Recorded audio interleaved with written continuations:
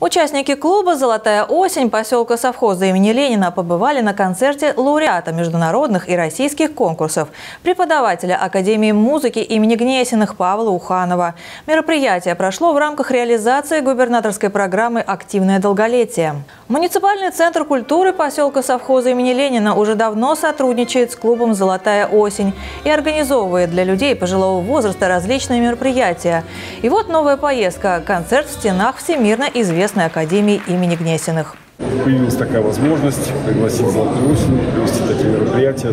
Проведение таких выездов на концертные программы стало у нас доброй традицией. Присоединяйтесь к нам, приезжайте на наши концерты, посещайте наши мероприятия.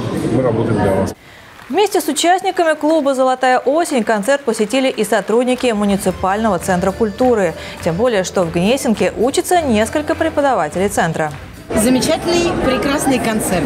Очень сильно понравилось, что стали вводить, скажем так, для интереса молодежи. Вот гармонь драйв было прекрасно. Этот оркестр тоже, там Ксюшу нашу мы слышали, Дашу нашу мы видели.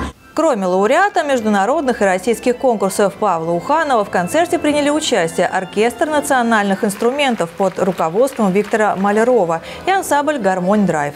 Я желаю, чтобы творческие люди у нас больше было, чтобы мы чаще встречались на этих праздничных концертах. Коллектив муниципального центра культуры уже готовит новую поездку, но куда – пока секрет.